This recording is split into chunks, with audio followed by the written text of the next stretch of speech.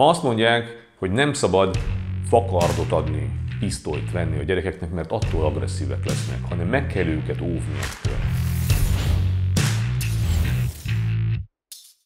Nagy szeretettel köszöntök mindenkit, Bedő Imre vagyok, és ez itt a Férfiak Klubja Mentor csatornája.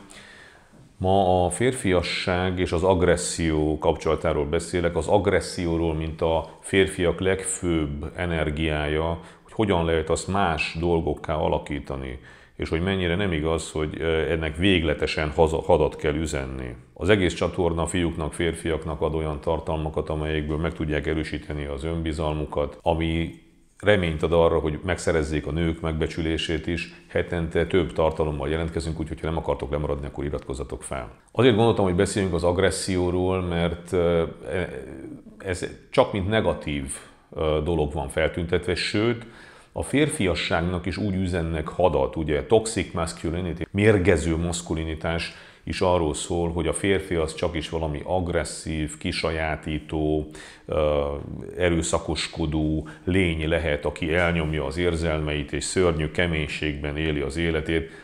Nem igazak ezek a dolgok. És kicsit hozzunk föl a mélyből valami olyat, ami talán az anyukákat is tanítja arra, hogy hogyan kell fiúkat nevelni, és talán a férfiakat is megbarátkoztatja a saját belső lényükkel. Tehát a férfiaknak abszolút alapvető bázis energiájuk az agresszivitás és az agresszió.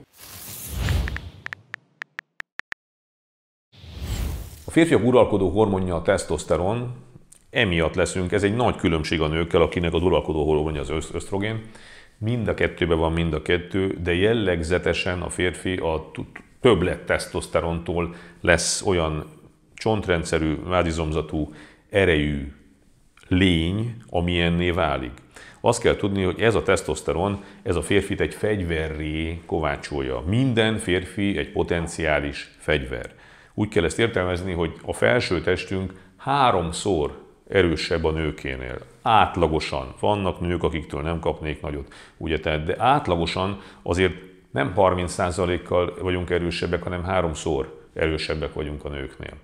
Ez azt jelenti, hogy ha egy nő tiszta erejéből megüt egy férfit, akkor az azt mondja, hogy szoktam mondani, hogy többet ne forduljon elő, de ez nagyon fájt.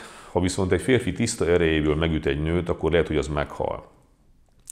Tehát az egész kultúra és civilizáció férfi ágon azt tűzte célul, hogy megtanítsa a férfiakat az erejükkel való bánásmódra.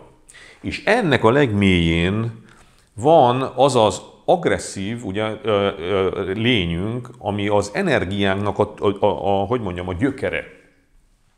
Hihetetlen fontos tudni, hogy ez nem negatív dolog. Az a negatív, hogyha ez rosszul van felhasználva. Ezt úgy kell érteni, hogy mindent ebből az energiából alakítunk át.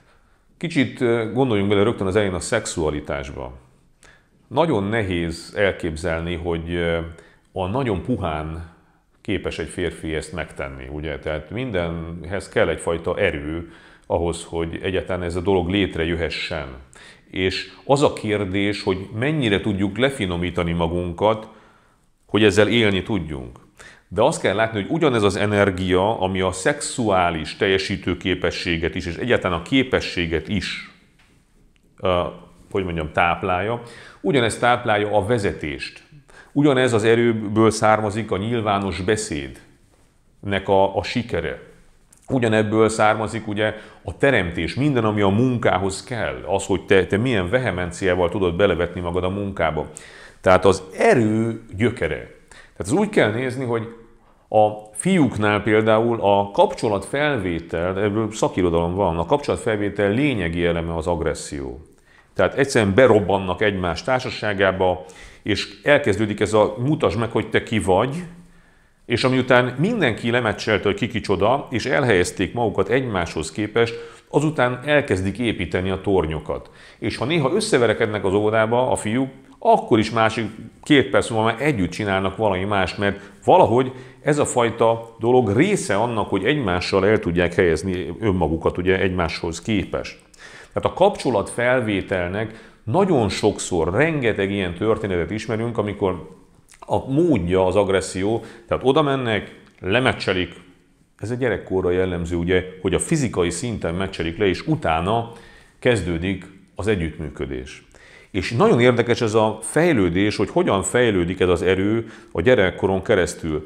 És ugye itt van egy nagyon-nagyon fontos kérdés, hogy meg kell ezzel barátkozni pedagógus szinten, anyai, apai szinten is, mert az egész férfi fejlődésnek az a lényege, hogy vajon ezt az erőt uralt erővé tudjuk varázsolni.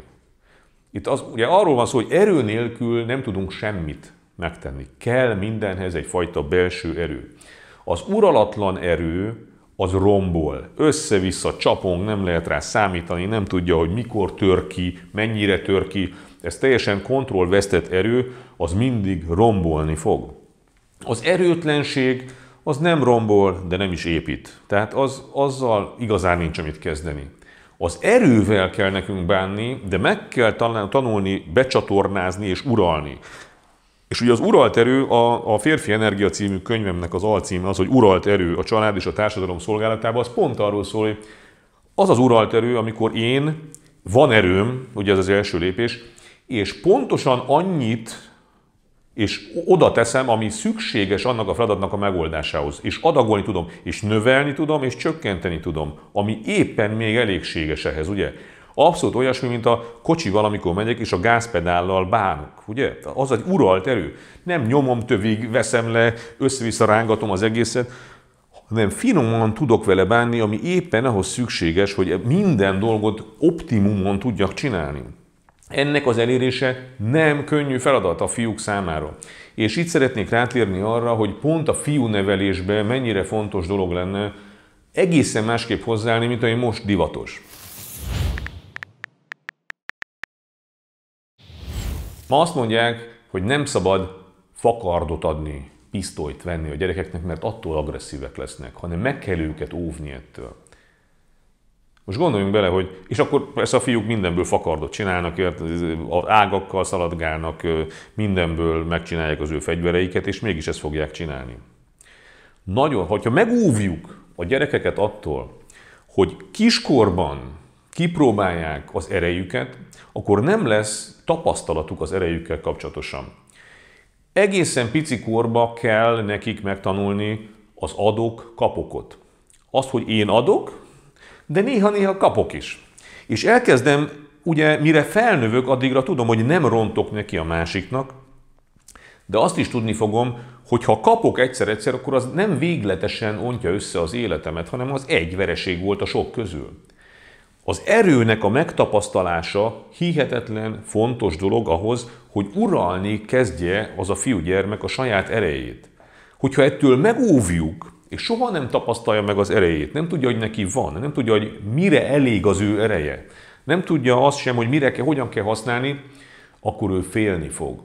És az az agresszió, amitől tartunk, az, ami kirobban, és mindenkit elsöpör, és legyilkol, és megver, felnőttkori agresszió, az épp hogy nem a fakardozásból származik. A fakardozásból az önuralom fog származni, mert ad, kap, akkor, amikor még 20 kilós.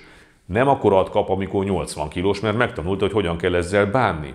Amikor viszont 80, meg 100, meg 120 kilós, és soha nem tapasztalta meg ezt az erőt, soha nem bánt ezzel, soha nem tudta megfékezni, soha nem volt kénytelen megfékezni, azért, mert a másik gyengébb, vagy azért, mert a másik erősebb, mind a két okból meg kell tanulnia ugye megfékezni, az az ember rettegni fog.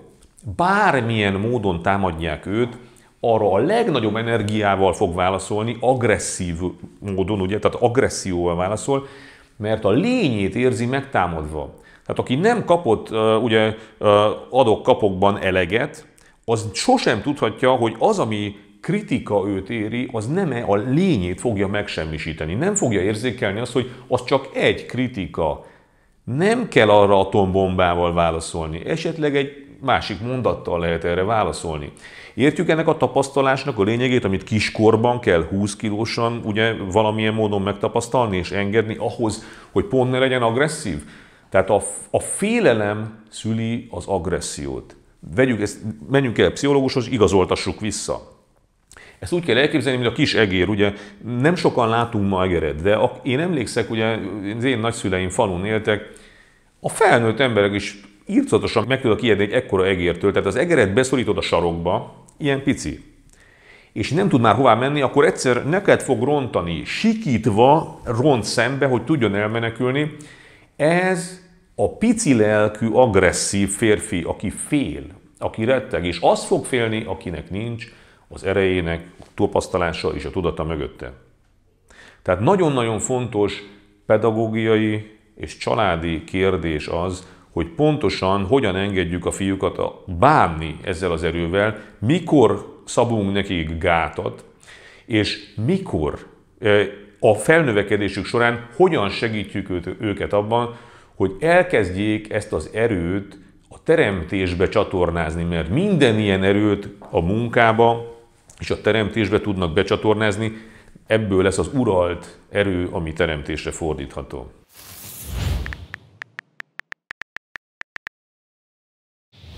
Az önuralom nélküli ember a szellemét sem tudja semmilyen módon becsatornázni, hogy abból legyen valami, abból semmi nem fog lenni fiú ágon. Tehát a férfinak a fegyelmezettség, az, hogy képes legyen önfegyelemre, képes legyen az autoritás elfogadására, másokra is hallgatni, de a szelleme szabad maradjon. Ugye, tehát itt, itt jön be az a különbség, hogy nem azzal törik meg a gyereket, hogy beállítják a tornasorba, és neki be kell állni oda, és ott lehet rá, hogy fiú, és szörnyű ez a dolog. A szellemét, hogyha a gondolkodását törnék meg, hogyha neki nem szabadna ott, abban a világban, a szellemi szférában szárnyalni, ott nem szabad megtörni.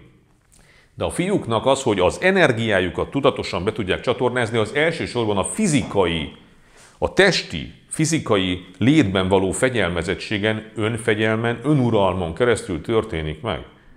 Tehát nagyon-nagyon fontos az, hogy felejtsük el, hogy ő fiú, ezért csaponghat, szaladgálhat, ordítozhat, bármit csinálhat. Pont az ellenkezője igaz. Ha fiú, akkor sokkal, sokkal keményebben meg kell tőle követelni. Meg kell követelni. Azt a fajta fegyelmezettséget, amivel a világban él, mert egyszer 120 kilós lesz. És akkor mit fog kezdeni az erejével? És hogyha nem tudja az erejét használni, mert sosem mindig megóvtuk attól, hogy ő bármilyen módon megtapasztalja az erejét, bármilyen módon az adok-kapoknak megtapasztalja azt is, hogy ő ad, és meg kell állnia, van kegyelem, meg a kapokból megtapasztalja azt, hogy nem ölték meg, nem lett semmi baja, egy vereség a sok közül, sosem a lényét támadják meg, hanem megyünk tovább. Tehát nem kell úgy védekeznem, mint hogyha a lényemet támadták volna meg, és minden erőmmel ledózerolni a másikat, minden pici dologgal. Próbálom még egyszer elmondani, vagy még kétszer, hogy értsük ennek az összefüggéseit. Tehát akinek ezt nem tudtuk megmutatni, az majd 120 kilósan egy életveszély lesz, egy, egy, egy csapongó gyermeteg lény. Most gondoljunk bele, hogy a, nem mindegy, hogy egy árvíz sodor el mindent, vagy egy hatalmas folyó, ami a medrében folyik, és erőműveket lehet rá építeni. Ugye ez a különbség az uralt erő és az uralatlan erő között.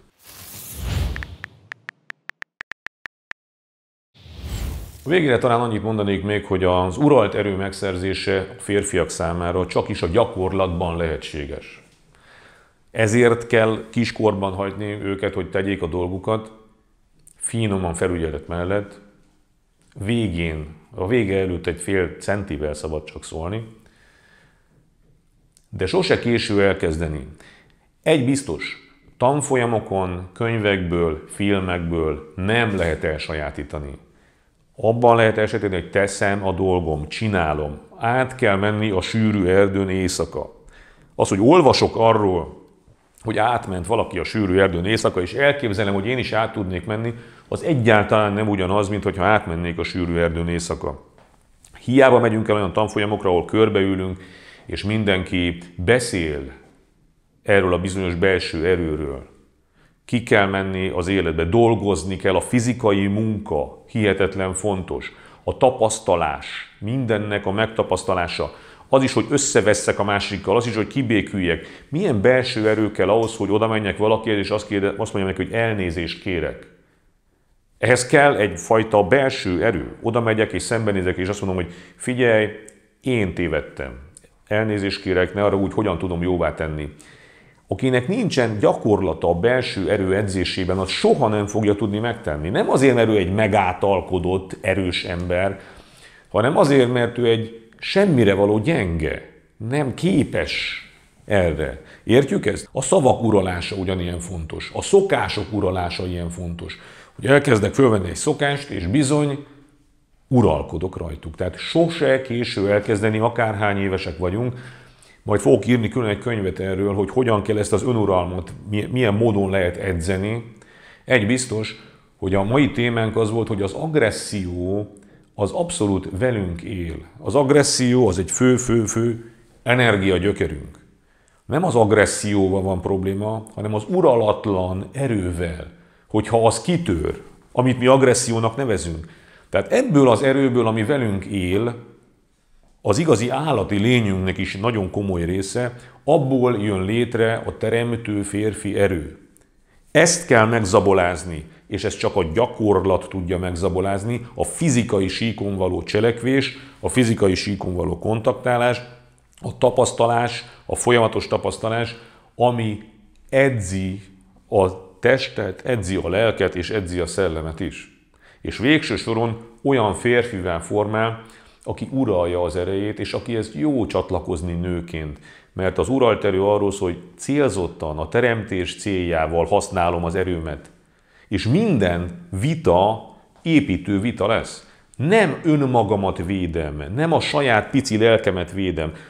Még egy hasonlatot mondok, ugye Óza nagy varázslóban van az a jelenet, amikor, amikor az ilyen pici figura ugye ilyen hatalmas árnyékot vetít, és az árnyék nevében beszél azért, hogy ijesztő legyen az a hatalmas árnyék, de ő ilyen pici.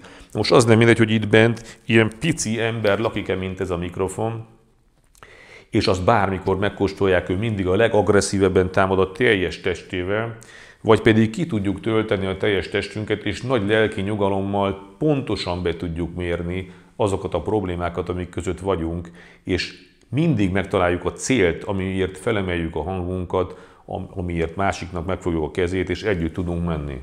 És ez mind-mind ugyanebből meríti a férfi. Tehát lehet ezt pozitívan, sok munkával, és sose késő. Vágjunk bele még ma.